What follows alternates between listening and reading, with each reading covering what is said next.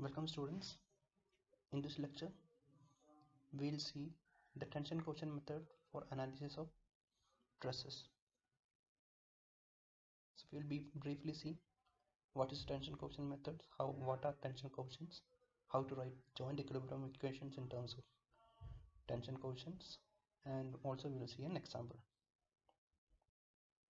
So now let's see what is tension coefficient method. So tension coefficient method is basically neat representation of our conventional uh, method of joints wherein we use the principle of joint equilibrium. Each joint is taken to find the member forces. Okay. The main advantage of tension coefficient method is that we can it can be easily extended to space frames which is easy to difficult to analyze when we are doing method of joints. Okay. So what we do here is like we'll write the equilibrium equations sigma h equal to 0 and sigma v is equal to 0 in case of planar trusses but we are represent these equations in terms of tension coefficients and joint coordinates. So this is the major difference lying here. The only thing is that the equilibrium equations are not written directly but instead it is replaced by something called as joint coordinates and tension coefficients. So what is this joint coordinates? So joint coordinates are nothing but the cartesian x and y coordinates of each of the joints. So it is important that while finding out the joint coordinates of each of the joints uh, always try to keep all the joints in positive quadrant which is the first quadrant so here is a small example where we have found out the joint coordinates of each of the joints in the truss. So it is very simple analysis here to find out the joint coordinates here. So have a look here. Now let's see what is tension coefficient. This is important. So tension coefficient is a name given to a term which is nothing but tension in the member divided by its length. So tension coefficient is nothing but tension in the member divided by the length of the member. So it is denoted by small tab where which is nothing but capital TAB which is tension in the member divided by LAB which is length of the member AB okay? So it is obvious that the truss members are, have both tension members as well as compression members so for a compression member the tension coefficient is going to be negative. Okay? It is because compression is nothing but negative tension. So now let's see how we represent the joint equilibrium equations in terms of which are nothing but sigma x equal to 0 and sigma y is equal to 0 in terms of tension coefficients and joint coordinates. For this let's take an example here which is a member AB okay. It's a tensile member AB and the joint coordinates of A is XA and YA and joint coordinates of B is XB and Y let's say the length of the member AB is LAB okay. And it is at an horizontal angle of it's at an angle of theta with the horizontal. Now if you want to find out the um, x component of this force it is nothing but TAB into cos theta. That is horizontal component is nothing but TAB into cos theta. And the vertical component so horizontal component is going to be this TAB into cos theta. And the vertical component is going to be this TAB into sin theta. So the please understand the tension in the member is called as TAB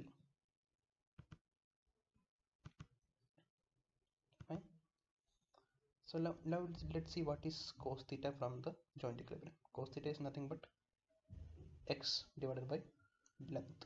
Horizontal adjacent divided by hypotenuse. So adjacent distance x is given by xb minus xc so cos theta is going to be xb minus xc divided by lab and sin theta is nothing but opposite by hypotenuse. So opposite is y y distance which is yb minus ya so sin theta is going to be yb minus ya by l. So if you substitute this cos theta and sin theta in the previous equation horizontal component is nothing but tab into cos theta. So cos theta is nothing but xb minus xa divided by l. So if you note carefully here this tab by lab this is nothing but our tension coefficient and horizontal component is tension coefficient multiplied by the difference between the end coordinates in the respective x direction and vertical component is again similarly we substitute sine theta that is yb minus ya divided by lab. Here also tab by lab this is nothing but tension coefficient t small tab so vertical component is going to be tension coefficient multiplied by difference in the coordinates in the vertical direction yb minus ya so while doing a problem there should be conversion to do or express the equilibrium equation. So considering the direction the right direction is taken as positive as well as the upward direction is taken as the positive. And whenever we write x component of any force in the member what we do is we'll write the tension coefficient of the member then multiply it by the x coordinate of the far joint minus the x coordinate of the point for which the equation is stated. Okay. Similarly y component also it is nothing but tension coefficient multiplied by y coordinate of the far joint first then the near joint y coordinate of the near joint. So let's take an example here where there is a joint j where member jc jb ja and jd meets and also there is a force px and py acting okay so joint coordinates are also represented in the brackets. So how to write equilibrium equation? Sigma h equals 0 taking right side as positive. So first we take tension in the member aj ja which is nothing but t j a. So tj into x x a it is a far joint minus xj plus tjb into xb minus xj tjc into xc minus xj tjd into xd minus xj and then we have a positive px force so plus px equal to 0 if we take sigma v equal to 0 taking the upward direction as positive again we will have tja into ya minus yj tjb into yb minus yj tjc into yc minus yj tjd into yd minus yj and there is a downward force py which means that we have to include minus py equals 0 with that let's see an example. We have a simple easy planar here. So the first thing you have to do is you have to find out the reactions and also mark the joint coordinates and find the length of each of the members. So it is a hinge here and a roller here at F roller and at A is a hinge. So let's find out the reactions. So horizontal reaction is going to be 30 to the left. Then in order to find the vertical reaction at F you can take about O is equal to 0 so or A is equal to 0 so you get 30 into 3 minus sorry 30 into 3 plus 16 into 3 plus 90 into 6 minus RF into 9 equal to 0 so you get reaction at F is equal to 90 and at A is equal to 60 okay also you can mark the joint coordinates. So it is important to note here how to get joint coordinates of D. Nothing is marked there. Only thing is this is a similar triangle smaller triangle and the bigger triangles are similar. So the height of D is going to be half of the height of BC as the base is exactly double for each of the triangle okay? Now let's start finding the member forces. So so in order to find out the member forces the first result we'll get is actually tension coefficients in each of the member. Okay? So let's take the joint A and write the equilibrium equation. So there is only two members meeting and three reactions are there. So it will be easy for you to write the equilibrium equation so if let's take sigma h equal to 0 horizontal equilibrium equation so minus 30 then we have the TAB TAB into far joints x is 3 minus near joints x is 0 then we have TAC so plus TAC into far joints x is 3 and near joints is 0 so 3 minus 0 should be equal to 0 so you get an equation of terms of TAB and TAC now taking sigma v is equal to 0 there is an upward force 60 so plus 60 then TAB into 3 minus 0 plus TAC into 0 minus 0 from here you can get what is TAB value. So TAB is minus 20 and substituting in the previous equation you get TAC is equal to 30 now the TAB is a tension coefficient which is negative which means that the force in the member AB is going to be compressive and its value is going to be value of tension coefficient multiplied by the length of AB so length of AB was 4.24 multiplied by 16 it is going to be around 84.8 it is nothing but 60 root 2 and if you multiply TAC with the length of AC 3 meter so 3 into 30 it is going to be 90 move on to the second joint joint B.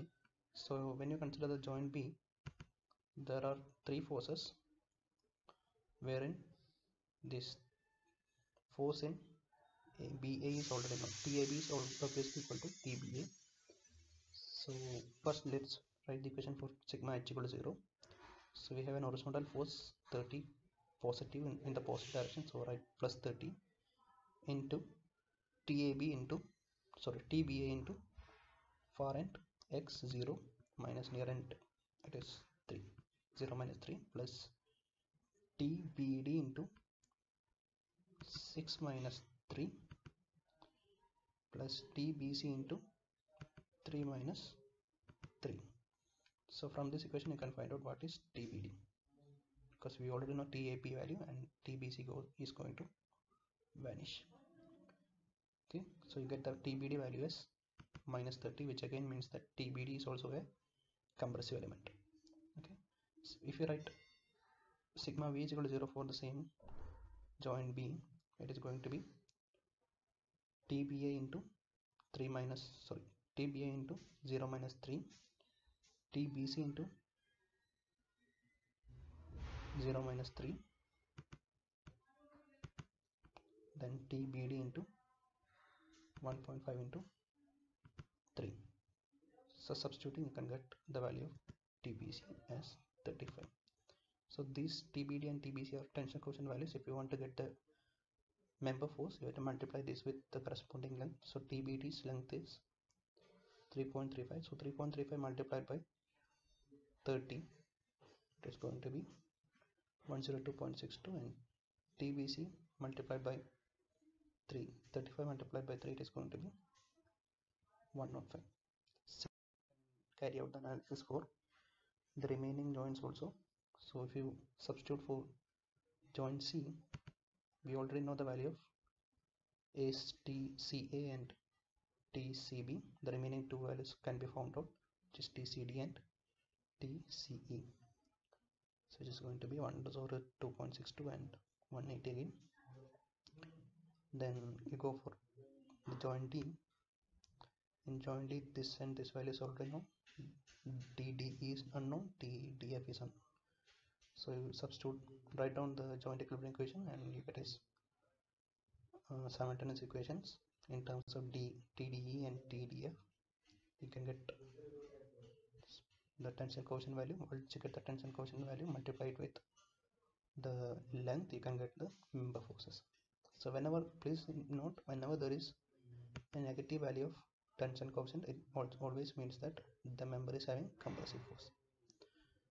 So with that you can all the member forces so that's it for today's lecture about tension coefficient method. It is nothing but the method of joints but it is beautifully written in terms of tension coefficients as well as the joint coordinates and it is easy to perform also. The major advantage is that you can easily extend this vector representation to a 3d form also. Thank you